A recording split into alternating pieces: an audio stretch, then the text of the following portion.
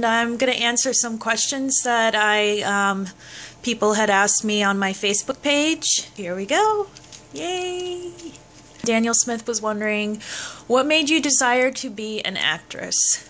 Well, um, I've been wanting to be an actress ever since I was a little kid. I was always, you know, the kid in the corner, you know, playing make believe like a little weirdo. For me, at least, writing has always been hand in hand with my acting. Whenever I you know, think of a scene that I'm going to write. I always, you know, act it out in my head. And then I sometimes when I'm alone, I'll act it out alone.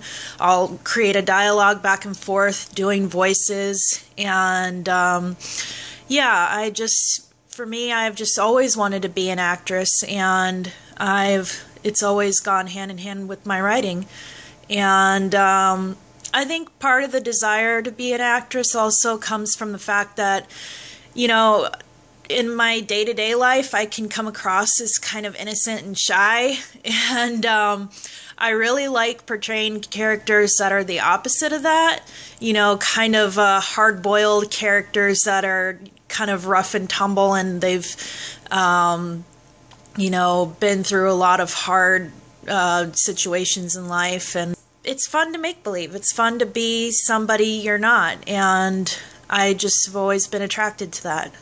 William, I'm going to butcher the name, William Motzeral LMT asked, Do you ground yourself going into coming out of character?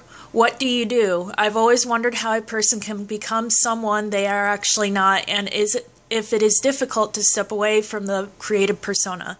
But I just kind of separate myself from the character every single time I go in and out of character. I just, that's exactly what I'm doing. Um, on set, I'm just go into character and then as soon as they say cut i go out of character. I'm out of it. And i think it's part of a self-preservation kind of mentality you know because especially if the character is kind of um, emotionally difficult to be in character um, I think it's healthy to not stay in character. I'm not one of those actresses who actually will stay in character throughout like an entire time that um, oh, Facebook making noises. And just knowing my own personal struggles with, you know, anxiety and sometimes with depression, I just feel like it's better for myself that every time I go into character, it's just for practice for rehearsals or it's just for when the camera is rolling. When it stops, I'm out of it. You know, what do I do? Uh, going in and out of character, I, I, it's hard to explain. I guess it's kind of almost like, um, like a, don't want to sound super cheesy, but kind of like, you know, a Zen kind of thing. You know, you just, you focus, you put your mind into that character and you really just you just try and use empathy to um, feel what that person is feeling in that moment, what that character is feeling. And if it's really hard for me to do, like if it's hard for me to get in that, that mind focus, I'll just uh, use method acting. I'll think of a time that I may have felt something similar. Like if it's somebody grieving over a family member dying, I'll think of a time that I had to grieve. Jeff Herman is wondering what scene do you think reflects your work best and why? Um, I think from uh, the web series I was in, Jessica Forever, uh, the second episode uh, when she is realizing, and spoiler alert, spoiler alert, spoiler alert. So please, if you have not seen Jessica Forever yet, please do not keep watching this video. But, um, anyways, so you've been warned. Who is this? Why did you kill Landon? That wasn't me. That was you. No, no, I don't believe you. That couldn't have been me. I... Listen to me, Jessica. You're not human anymore.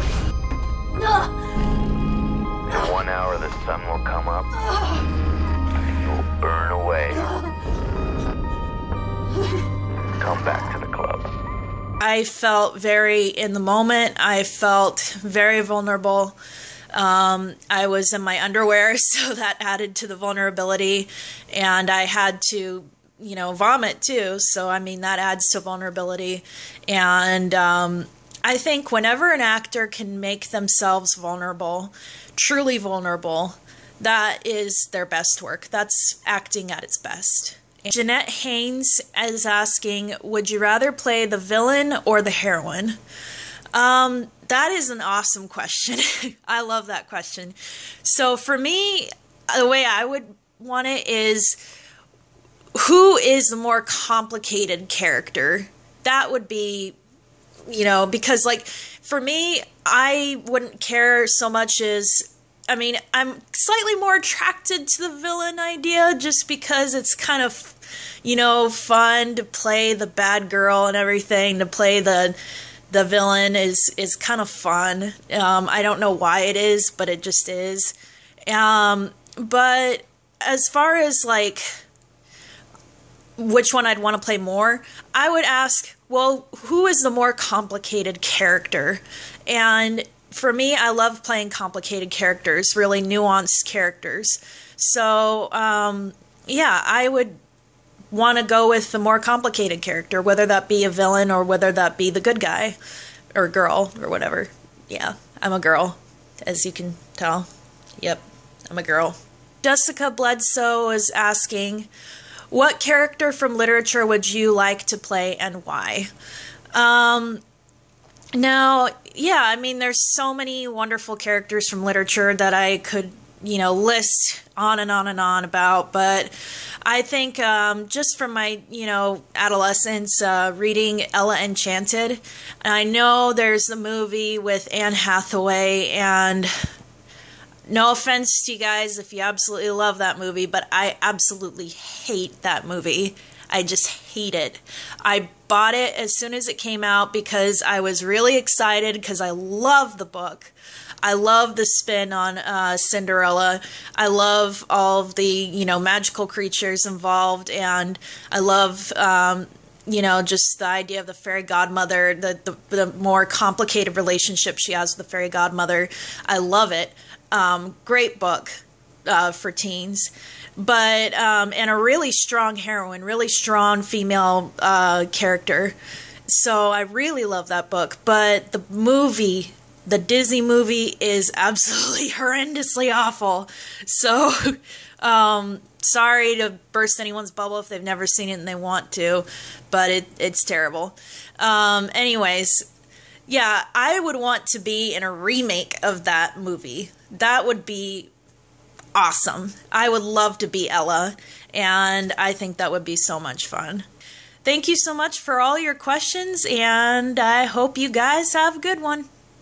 Bye.